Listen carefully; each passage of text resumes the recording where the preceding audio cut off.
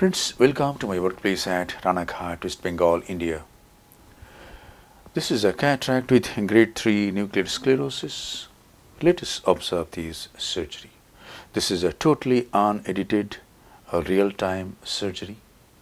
This is the main incision with a 2.8 millimeter steel keratome on the posterior aspect of the limbus.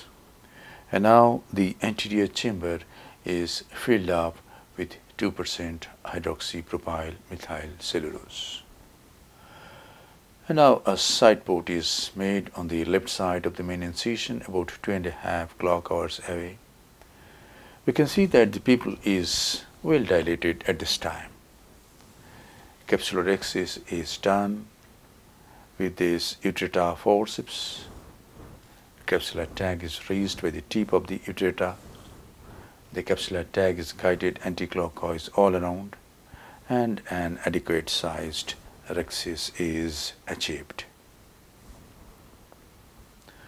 And now hydrodissection is done. As soon as hydro is done, you can see that the pupil has become a bit smaller than it was earlier.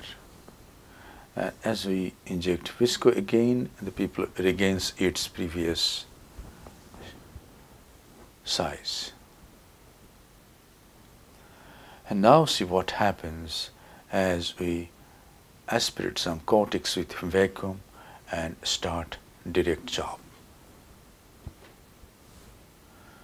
The phaco tip goes in, some superficial cortical lens matter is removed and now as I bury the tip into the substance of the nucleus, see the pupil has become very small and as I use only irrigation, the pupil becomes little more in size. As see at this time the iris is tending to prolapse through the side port. The pupil has become very small at this time, about 3 millimeter or 3.5 millimeter. So, to avoid iris injury in this case, what should he do? See this. I have divided the nucleus into four pieces. Now I come out. Iris injury hasn't occurred yet. Now I inject visco. With visco, the pupil dilates again. And now my plan is to manage the nuclear pieces single-handedly without using the side port. And it is possible when the density of the nucleus is such, not very hard, you can easily manage the nuclear pieces single-handedly in this way. Hold the nuclear pieces and emulsify it at the central 3 millimeter safe zone. And during emulsification of the last piece, I use the chopper once, divide it into two pieces, come out, so that the iris doesn't tend to prolapse through the side port. And see how we can manage the nucleus without using the chopper. I have used it only for division of the nucleus into four pieces and during management of the last nuclear piece where I used the chopper to divide the last piece into two smaller pieces. And now I use a Simcoe cannula to remove the cortex. You can use bimanual, but with bimanual IA, there will be more tendency of iris prolapse.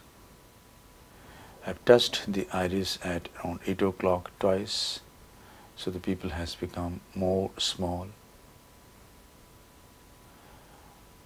and it is done the cortex is removed. Yes, a little bit of cortex is sticking to the posterior capsule. Yes, it is removed. And now in such cases, in such cases of mild intraoperative floppy iris syndrome, mild IFIS, we can use irrigation for hydroimplantation, but the iris will tend to prolapse again and there will be more iris injury. So better we use visco, fill up the capsular bag and the anterior chamber and implant the intraocular lens in this way. When we use visco, the pupil is dilated a little bit and it is round and we can easily implant the intraocular lens in the capsular bag. And now we have to remove the visco that we have used for implantation of the intraocular lens. First I use Simcoe, irrigate the anterior chamber, irrigate and aspirate for some time. And now I try to go behind the lens and irrigate the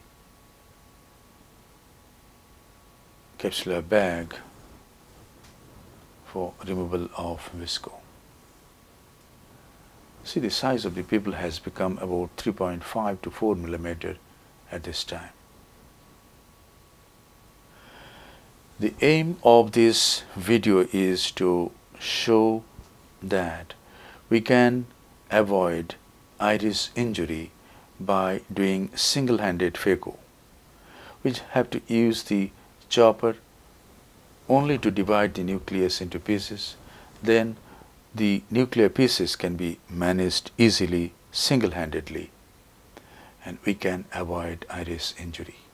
And always remember that in cases of IFIS, irrigation should be removed first from the anterior chamber and then the aspiration or the chopper, whatever is there, the side port instruments should be removed later. First remove the irrigation and then remove the aspiration. If we remove the aspiration cannula first and irrigation is there, then there will be iris prolapse and more iris injury. Visco has been nicely removed and this is the final lavage of the anterior chamber. We have closed the side port nicely and the anterior chamber is nicely formed and the case is concluded. Thank you very much for your attention. Hope this video will help you in developing your surgical skills and hope it has given you the idea that we can do single-handed phaco to avoid iris injury in cases with intraoperative floppy iris syndrome.